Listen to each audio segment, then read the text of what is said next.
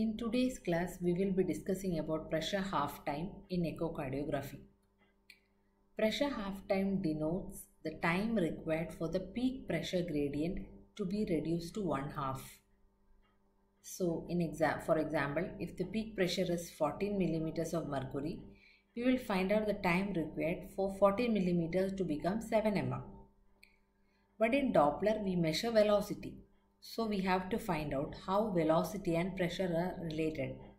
So as per Bernoulli's equation, P is equal to 4 into velocity square. That is peak pressure gradient is equal to 4 into velocity square. So when we make uh, take uh, to find out the pressure uh, gradient, that is the pressure half time from the velocity, uh, and to find out pressure half time, and uh, when we apply the Bernoulli's equation, P is equal to 4 into V square, we will derive that pressure half time is the time required for the peak velocity to become peak velocity by the square root of 2.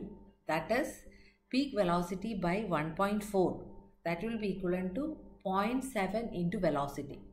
That is pressure half time uh, refers to the time required for the velocity, peak velocity to become 0.7 of the peak velocity. So we change pressure gradient to velocity because in Doppler we measure velocity and the relationship between pressure and velocity as per Bernoulli's equation is P is equal to 4 into V square. So pressure half time is significant in mitral stenosis, diastolic events, in, that is in mitral stenosis and aortic regurgitation. So uh, in mitral stenosis, we, plot the LA and the LV pressures and the area under the LA LV pressure uh, uh, will uh, give us the trace in, in mitral stenosis and the time required for V max to become V max by, by the uh, divided by square root of 2 will denotes pressure half time. So from this diagram which is given here, it, it is clear that as the severity of mitral stenosis increases, the area under the curve also increases and also the pressure half time increases. Here the pressure half time is uh, this, this much while in the second diagram where there is severe mitral stenosis, the pressure half time has increased. So as the severity of mitral stenosis increases, pressure half time increases. So this we can make out that here the LA pressure has to rise so much then only the blood uh, can be pushed from the left atrium into the uh, left ventricle. So as the severity of the mitral stenosis increases, the LA pressure will curve will rise up and the area under the curve will increases in the uh, in continuous pulse wave Doppler. So mitral stenosis pressure half time is a measure of severity and as the stenosis worsens pressure half time increases. So another important use of pressure half time is mitral valve area can be calculated. That is equivalent to 220 divided by pressure half time.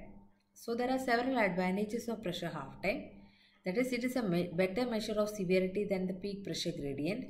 And it is because it is less dependent on heart rate and flow across the stenotic valve.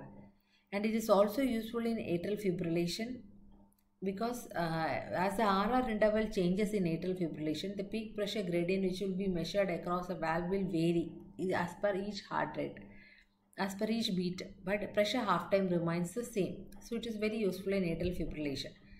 But there are few limitations of pressure half time because in conditions like di- altered diastolic compliance like left ventricular hypertrophy, it will alter the flow velocity and hence pressure half time can be falsely increased. So, what happens in uh, if there is a mitral stenosis plus aortic regurgitation?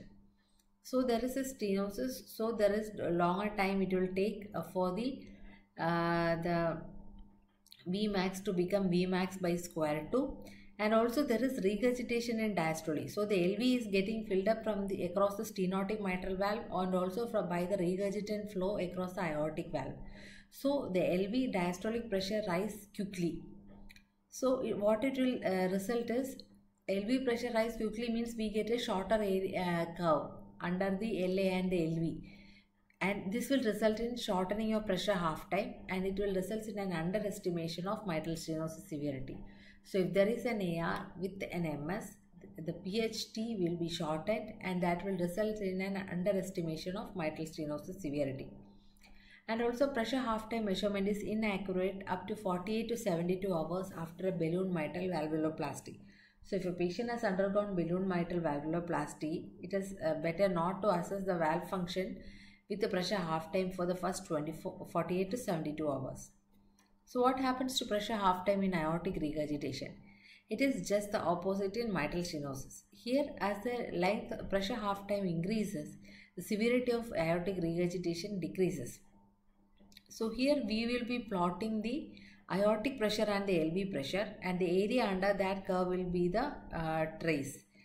And as uh, uh, so in uh, aortic regurgitation as the aortic pressure quickly um, that is uh, the steeper the slope of the aortic regurgitation uh, flow profile. So this is the aortic regurgitation flow flow flow profile and this is another flow profile. Here we can see that in severe AR this is steeper compared to the mild AR curve so when it is steeper uh, the pressure half time will be shorter. So as the severity of aortic regurgitation increases, the pressure half time reduces.